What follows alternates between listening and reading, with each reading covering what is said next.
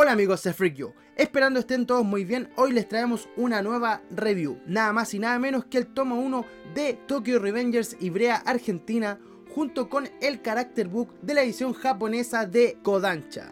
Antes de comenzar, recuerden darle like, suscribirse y activar la campanita para estar al tanto de todos nuestros videos. También recuerden que en la descripción del video tienen el link de donaciones en donde podrán hacer su aporte a este proyecto.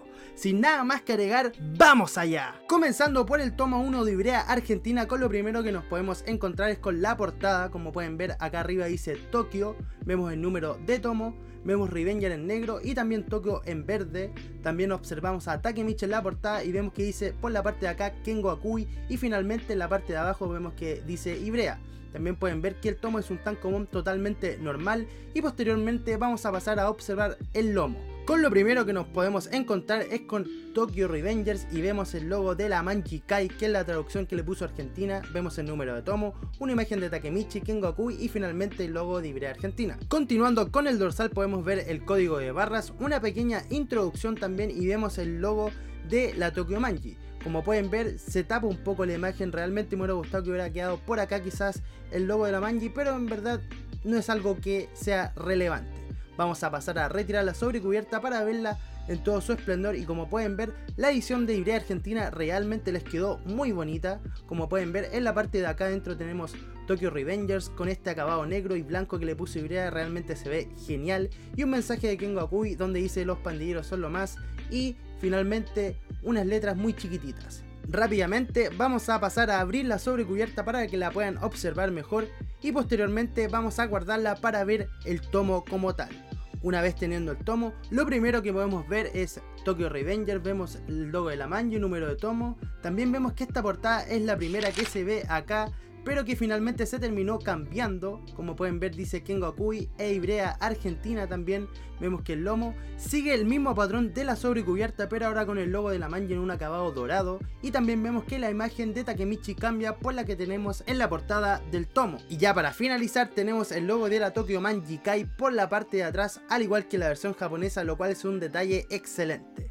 Luego de esto pasaremos a abrir al tomo y con lo primero que nos podemos encontrar es con un desplegable a color el cual está excelente y este realmente es la primera portada de Tokyo Revenger la cual posteriormente fue cambiada por las que conocemos ahora.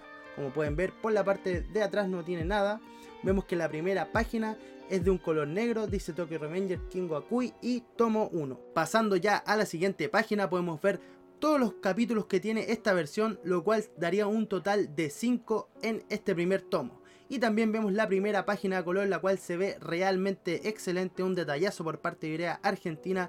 Y seguimos con las páginas a color, ya que tenemos a Takemichi y Naoto en su versión joven y más adulta de cada personaje. Realmente está muy bonito este detalle. Y como si eso fuera poco, Ibrea sin miedo al éxito nos mete el logo a color de la Tokyo Manjikai, lo cual es un detalle excelente por parte de esta editorial. Respecto a los modismos, realmente me reí bastante y creo que le sientan muy bien a esta edición de Argentina, ya que la serie al tener peleas y bastantes diálogos, realmente se hace muy entretenido de leer. Y bueno amigos, ya para finalizar realmente dejo totalmente recomendado este tomo ya que el precio es muy accesible y realmente Ibrea es un trabajo impecable. Rápidamente los dejaremos con unas tomas y posteriormente vamos a hacer una pequeña comparación con la versión japonesa y la versión de Ibrea argentina.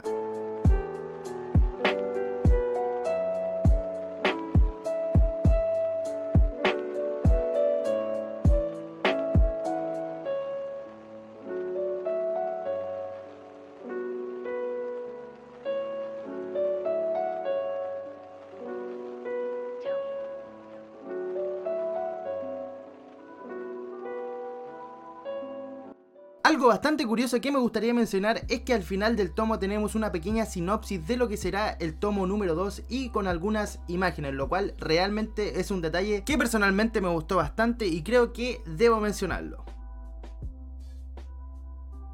Comenzando con la comparación de ambos tomos, edición japonesa y argentina, como pueden ver, las portadas se parecen bastante, ya que la versión de Argentina trata de acercarse lo más posible a la versión japonesa, obviamente con otra traducción, vemos aquí los kanjis en japonés. Vemos que las portadas se parecen bastante en lo que sería diseño. Posteriormente pasamos a lo que sería el lomo. Y como pueden ver, el logo está espectacular. Tenemos el logo de Kodansha por la edición japonesa. Vemos Tokyo Revengers y el logo de la Tokyo Manjikai. Vemos también que se respeta la imagen y el número de tomo. Y también vemos que en Ibrea tenemos el nombre de la editorial. Y por parte de Kodansha tenemos unas letras en japonés. Finalmente, por la parte de atrás vemos que en ambas versiones tenemos el logo de la Tokyo Manjikai junto con la sinopsis, lo cual es un detalle realmente muy bueno. Posteriormente pasaremos a retirar la sobrecubierta, como pueden ver ambas son bastante fáciles de retirar. Y rápidamente pasaremos a hacer una comparación de ambos tomos y la sobrecubierta. Como pueden ver es bastante diferente el diseño de cada uno pero respetan el mismo tipo de color que es un color rojo. Como pueden ver por el lomo también vemos que se repiten los mismos patrones solamente que cambian los colores en ambas versiones. Y finalmente por la parte de atrás, como pueden ver acá, tenemos el logo de la Tokyo Manjikai en ambas versiones, lo cual es un detalle excelente por parte de Ibrea Argentina. Comenzando a revisar el character book, con lo primero que nos encontramos es obviamente con la portada, como pueden ver aquí tenemos el logo de Tokyo Revengers, vemos a Takemichi Yamaiki en la portada, junto con estas letras en japonés, pasamos a observar el lomo, vemos el logo de Kodansha y muchas letras en japonés junto con el logo de la Tokyo Manji. Finalmente por el dorsal vemos una imagen en donde vemos a bastantes personajes en esta portada, la cual está realmente preciosa y posteriormente vamos a proceder a retirar la sobrecubierta como pueden ver es bastante fácil de retirar. Como pueden ver pasamos también a sacar esta pequeña publicidad que vemos que está totalmente en japonés Después de esto vamos a observar lo que sería la sobrecubierta por dentro. Como pueden ver tenemos el logo de la Tokyo Manji en ambos lados con un acabado metalizado de color plateado, el cual se ve realmente hermoso y con diferentes diseños. Y posteriormente vamos a abrir la sobrecubierta para poder verla en todo su esplendor. Como pueden observar realmente se ve increíble esta sobrecubierta de la edición japonesa del Character Book. Prosiguiendo pasaremos a observar lo que sería el Character Book sin la sobrecubierta, como vemos se repite el mismo patrón de la portada pero ahora en un acabado rojo al igual que el tomo de la edición japonesa de Tokyo Revenger, como pueden ver se repite prácticamente todo pero con letras rojas tanto en la portada como en el lomo.